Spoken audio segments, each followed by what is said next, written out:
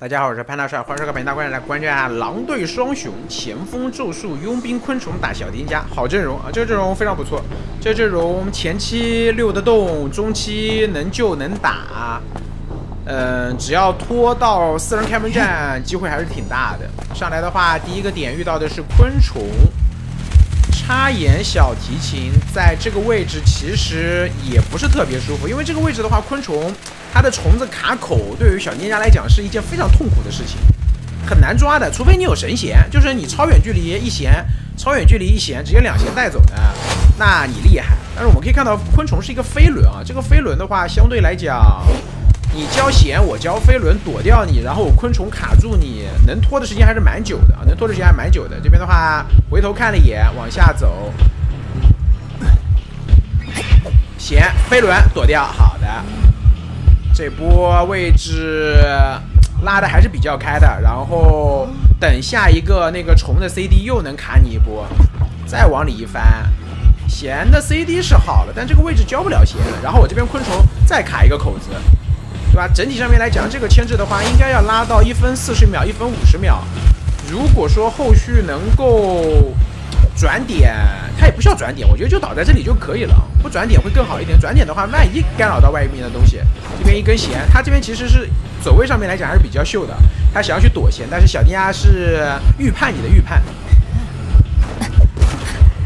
那下一根弦应该是带走了，没有飞轮，没有虫，下一根弦就带走了，一分四十秒。这个血没带走，追刀有了啊！整个击倒啊，我觉得可以接受了。前锋的机子差了多少？咒术师这边已经修第二台了。佣兵的话，第一台机子应该在跑机。那佣兵一救还是前锋救？应该是佣兵一救。佣兵救完，然后那边拉开。这里选择前锋撞救吗？直接撞救也行吧。啊，这波撞救，然后前锋再补撞，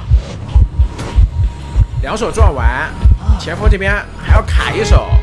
我觉得这里不保了吧？这里保好像没有太大的必要啊。我觉得这边这个小丁家追飞这个咒术呃不不不追这个这个昆虫学者应该是不难的。前锋保的话，我感觉保不太下来。这里前锋的话还有一小撮球，拉弦，这样的话机子反而。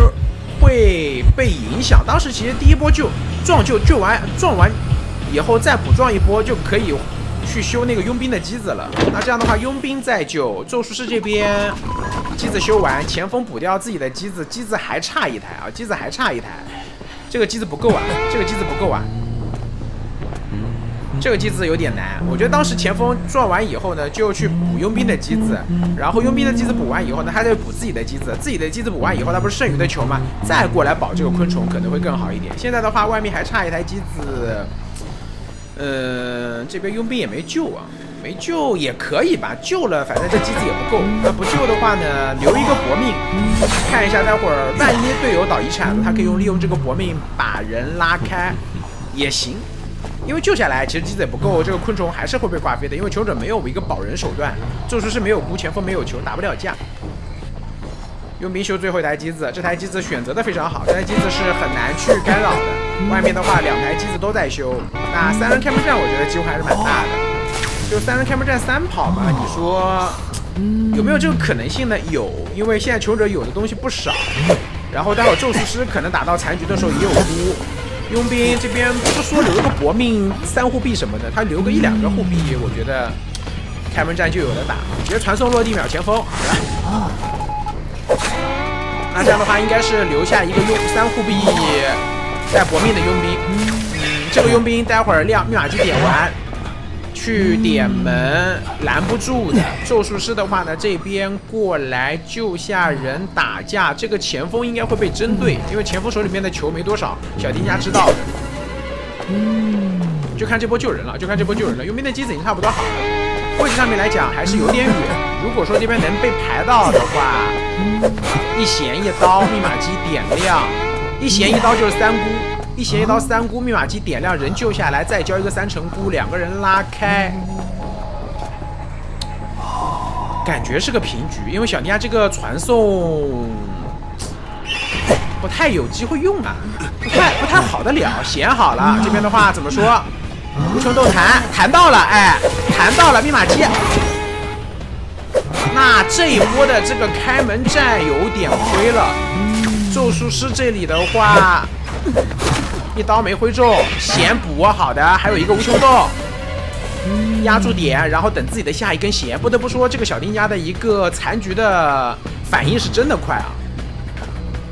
呃，他这样一打的话呢，其实是把他的一个传送拖出来了，并且这个咒术师是个半血，往前挂还有耳鸣。咒术师这边要交三成菇来救人吗？